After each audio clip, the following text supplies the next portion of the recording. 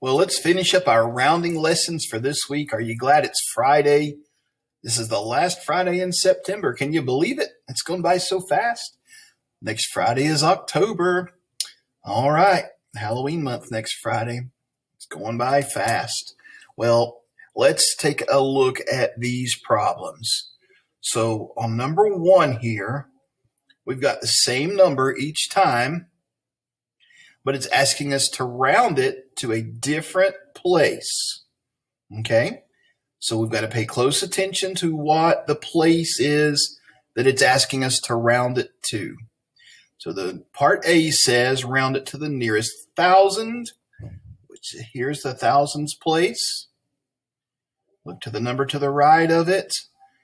Four or less, let it rest. Five or more, raise that score. So with three raises up to a four. So it's going to be 544,000. Everything to the right of it, one, two, three, becomes zeros. This time, round it to the nearest 10,000. So here's our 10,000s place. All right, so to the right of the 10,000 is a 3. 4 or less, let it rest. It stays the same. So 5, 4, and then everything else is a 0. So that is 540,000. 1, 2, 3, 4. 1, 2, 3, 4. Got my zeros right. All right. Letter C, we're taking the same number, but this time we're rounding it to the hundred thousands. So we've got a five here in the hundred thousands place. To the number to the right is a four. Four or less, let it rest. So it stays a five and everything else. One, two, three, four, five zeros. So that's going to be 500,000. So the number, the answer changes each time depending on what you round it to, doesn't it? In some cases, it might be the same, but most of the time it's going to change. All right, question number two says, complete each statement by rounding the number to the given place value. So we're doing the same thing. 2,841 rounded to the nearest hundred. Okay, got an eight there in the hundred spot with a four to the right of it. So four or less, let it rest. So that eight stays the same. So we have two eight, and then everything after it becomes a zero. So 2,800 is the answer. Going on to our next page. I can turn it. All right. We got 32,851 rounded to the nearest hundred. Underline our hundred place. Looks like we're going to be doing lots of rounding practice today. All right, so we're rounding the eight. To the right of it is a five. Five or more, raise that score. So that eight's going to become a nine. So it's going to be three, two, nine, and zero, zero. 32,900. Okay, this number, 132,891, rounded to the nearest hundred again. So 100 spot. Okay, we look to the right of it, and we've got a 9. 5 or more, we raise the score, so that 8 becomes a 9. So it's 132,900. 132,900. This one is 6,299, rounded to the nearest thousand this time. So make sure you pay attention to what you're supposed to round. All right, so we've got a six in the thousands place with a two beside it, four or less, let it rest. So that six stays the same. Everything after it, one, two, three, becomes a zero. So the answer is 6,000. Letter E. 36,599 rounded to the nearest thousand is what? Okay, look to the number to the right. It's a five. Four or more, uh, five or more, raise the score. That six becomes a seven. Three, seven, 37,000. Put those zeros in there after the 7. Letter F. We're rounding to the nearest thousand and 100,699. The thousands places a zero in it, but to the right of it is a six. Five or more raise the score. It raises the zero to a one. So 101, 101,000. Everything else becomes a zero. 101,000. Letter G. 40,984 rounded to the nearest 10,000. So we've moved over to the 10,000s place now. Okay. We've got a 4 in the 10,000s place with a 0 to the right of it. That 0 is 4 or less, so we let it rest. So the 4 stays the same, and it makes this answer 40,000. Are you getting it? Lots of practice today. Letter H. 54,984 rounded to the nearest 10,000 is what? Okay, well, we look to the right of the 10,000s place. Did I do that right? Mr. Helton, pay attention. That's the thousands place. Here's the 10,000s place. The 5 is in the 10,000s place. We're rounding the nearest 10,000. We look to the right of it and we see a 4 Four or less, let it rest. The five stays the same. So the answer is 50,000. 997,010 rounded to the nearest 10,000 is, Mr. Helton, make sure you underline the 10,000 place this time. I did. We look to the right of that, and there's a 7. Five or more, raise the score. Oh no, this is one of those confusing ones. We raise, change the nine to a 10, which gives us one more hundred thousand. And that makes it a ten hundred thousand. What? What is this? What's ten hundred thousand look like? You got a one zero and then one, two, three, four, five zeros after it. One, two, three, four, five. Well, there's that number that's a million again. That one's kind of confusing, isn't it? Let's think about a number line on this one. What two numbers are this but is this between if we're rounding to the 10,000? Well, 990,000. And what's 10,000 more than 990,000? If we added 10,000 to that, we would get what our answer was. 1 million. So we see with the 7 there, halfway between would be 995,000. It's 997. So it's more than halfway up to the t- 1 million. So the answer is 1 million. Moving right along, we got more to do. Going to have a bunch to do in your assignment today. Excuse me. Now we're rounding to the nearest 100,000 and 360,034. All right, we've got a six beside it. What are we going to do? Five or more, raise the score, change the three to a four, and everything after it becomes a zero. So it's 400,000. 436,709 rounded to the nearest 100,000. So four in the hundred thousands place with a three to the right four or less, we're going to let him rest. So that answer is also 400,000.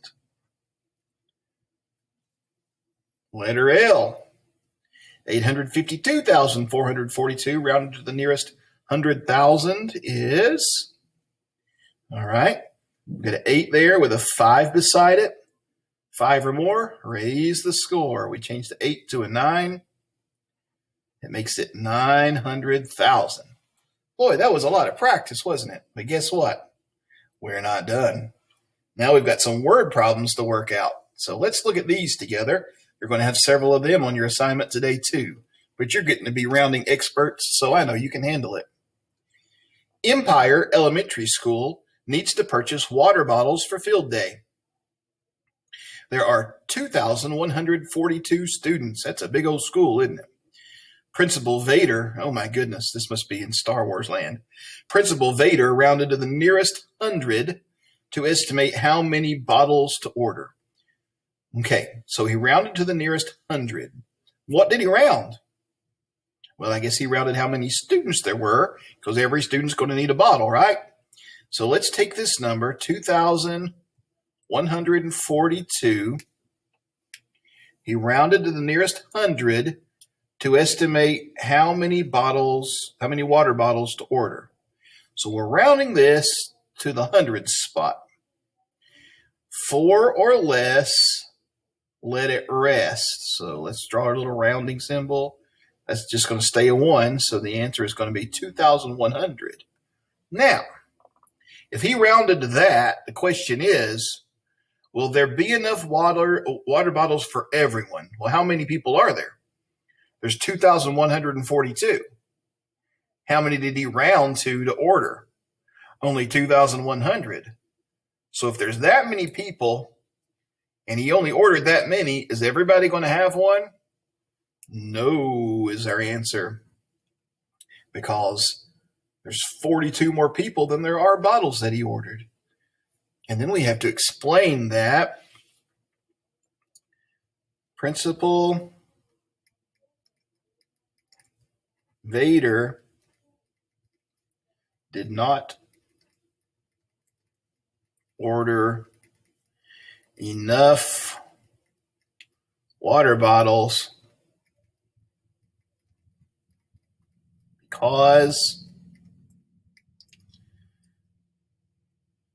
2,142 rounded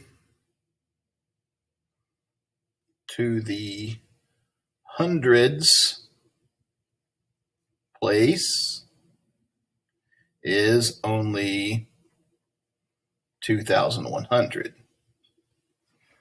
So they're not going to have enough water bottles. What's he going to do?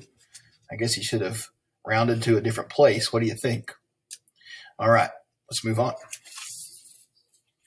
Opening day at the New York State Fair in 2012 had an attendance of 46,753. Decide which place value to round 46,753 to if you were writing a newspaper article. Round the number and explain why it's an appropriate unit to round the attendance to. So we're writing a newspaper article, and I assume in the newspaper article we're trying to tell people about how many people came to the fair. So, what should we round it to? So, here's our number 46,753. Well, we want to be as close as we can because we want to give the correct news. What if we rounded to the uh, 10,000s place? What would it round to? 50,000 because this six would make this a five. We could say there were about 50,000 people there. Well, that would be true. Could you get make it even more precise? What if we rounded to the thousands place? The six would become a what? A seven. Eight. The seven would become make this a seven. the seven, five or more raise the score would make this six a seven. So we would say there's about 57,000 people there. So round the number, explain why it's an appropriate unit to round the attendance to. If we said 46,753 is closer to 47,000 or 50,000, which one would be closer? It's closer to 47,000, isn't it? So I think that's, I like, I would like to report the news in the most accurate way possible. 50,000, well, 50,000 is about 3,200 more than were actually there. So that's quite a bit. But 47,000 is just about 200 more. So that's a closer number. So we are going to, I'll say I would round to 47,000. Remember, we said we would round it to the thousands place because that is an accurate estimate. Okay. Question five. A jet airplane holds about 65,000 gallons of gas. It uses about 7,460 gallons when flying between New York City and Los Angeles. Round each number to the largest place value. Then find how many trips the plane can take between cities before running out of fuel. Well, I tell you what, if I'm on an airplane, I want to make sure that thing don't run out of fuel, don't you? 65,000 gallons of gas. Okay, so let's do 65,000 gallons of gas, and then it uses about 7,460 gallons when it's flying from one place to another. Now, this says round each number to the largest place value. So there and there is the largest place value of each number. So 65,000 rounded up to the 10,000th place. It's a five. Five or more raise the score. So 70,000 gallons of gas. And it takes about, okay, four or less, let it rest. takes about 7,000 gallons to go from New York City to Los Angeles. So let's say New York. And way over here on the other side of the country is LA. So from the airplane to fly from here to here, it takes about 7,000 gallons. And its tank can hold about 70,000 gallons. So how many trips can the plane go back and forth before it runs out of gas? Well, let's look at our two numbers 70,000 and 7,000. Do you see anything in common between them? Mm-hmm. We've got a seven in the thousands place and a seven in the ten thousands place. So how many times can I multiply 7,000 times? What can I multiply 7,000 times to get 70,000? because this is how many times it could fly back and forth before it ran out of gas. So 7,000 times what is 70,000? Well, how do I move from the sevens column in our place value chart, the thousands place, to the ten thousands place? We, would you remember when we used to draw the little arrows? We'd go times what? Times 10. And if we do that, we also remembered we add a zero to this. There would be four zeros instead of three, and this one has four, so that's right. So the question asks, how many times can it fly back and forth before it runs out of fuel? So it could go back about 10 times. Back and forth about 10 times. So one, two, three, four, five, six, seven, eight, nine, ten, and then it better refuel for sure. Okay, that's your example work for today. I want you to go finish up your math on this Friday before you have a great weekend and do the best you can and solve these problems. I can't wait to do math with you next week.